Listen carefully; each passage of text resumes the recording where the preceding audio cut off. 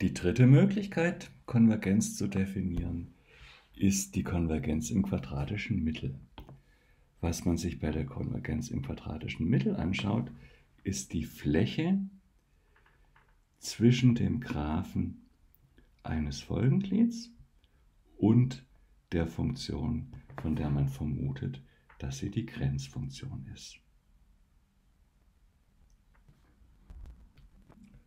Bei der Konvergenz im quadratischen Mittel geht es dann darum, dass mit wachsendem n die Fläche zwischen den beiden Graphen gegen 0 gehen soll.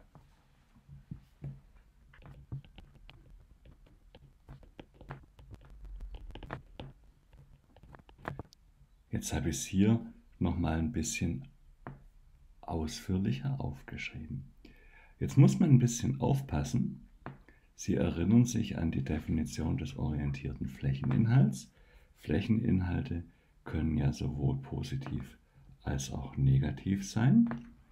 Das heißt, wenn ich das Integral ganz allgemein von a bis b über die Differenz fn von x minus f von x integriere, bestimme, dann kann es sein, dass sich Flächen gegebenenfalls aufheben. So wie das hier der Fall wäre. Jetzt wäre die erste Möglichkeit, dass Sie sagen, ja klar, dann setzen wir das in Betragsstriche. Das Blöde bei den Betragsstrichen ist, dass die Betragsfunktion abschnittsweise definiert ist. Das heißt, da müsste man zunächst mal Nullstellen bestimmen und dann abschnittsweise integrieren. Das ist zu kompliziert. Deswegen verwendet man die zweite Möglichkeit. Wie könnte man dafür sorgen, dass diese Funktion hier immer größer sein soll oder mindestens größer gleich 0? Naja, wir können die Differenz quadrieren. Ja, dann ist das Integral wirklich nur dann 0, wenn die Flächen überall 0 sind. Diese Überlegung schreibe ich nochmal in Klammern dazu.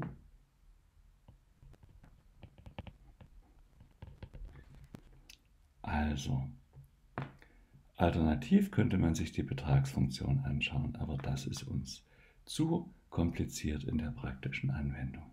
Gefordert wird also dass dieses Integral hier gegen 0 geht. Für n gegen unendlich. Das gucken wir uns nochmal in einem kleinen Beispiel an.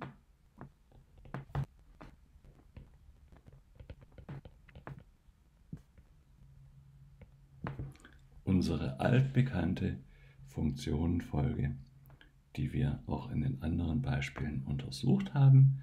Und wir betrachten jetzt ähm, natürlich die Grenzfunktion f von x gleich x und untersuchen den Grenzwert des Integrals von 0 bis 1 fn von x, also unsere Funktion x mal diese Klammer fn von x minus x, die Grenzfunktion, das Ganze zum Quadrat. Und x ist die Integrationsvariable.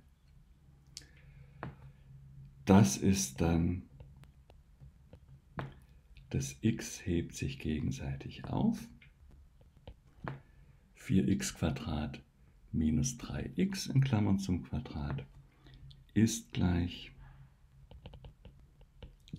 das n Quadrat klammern wir aus, Integral von 0 bis 1, das bleibt da stehen. So, jetzt könnte man sich natürlich die Mühe machen, das Integral auszurechnen. Allerdings denke ich, können wir sofort festhalten, was hier rauskommt, ist eine Zahl. c, wir wissen auch, weil ein Quadrat integriert wird, dass die größer 0 ist. Also ist das hier beschränkt.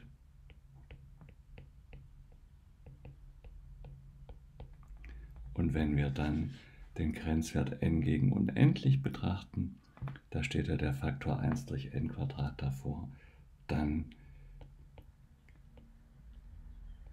wird klar, dass da 0 rauskommt.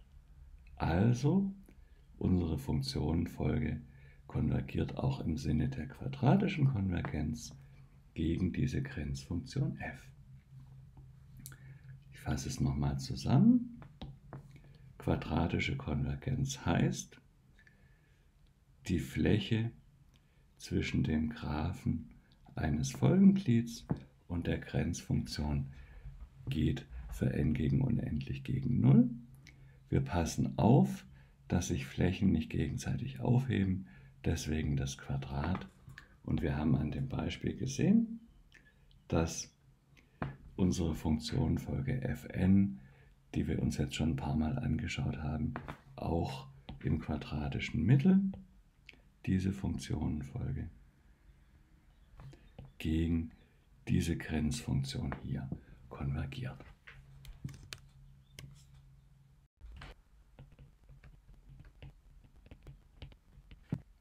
Dann zum Abschluss noch die formale Definition der Konvergenz im quadratischen Mittel. Wir sagen, eine Funktionenfolge definiert auf dem Intervall AB konvergiert im quadratischen Mittel gegen eine Grenzfunktion f, wenn des Integrals über die quadrierte Differenz zwischen den Funktionswerten für n gegen unendlich gegen 0 geht.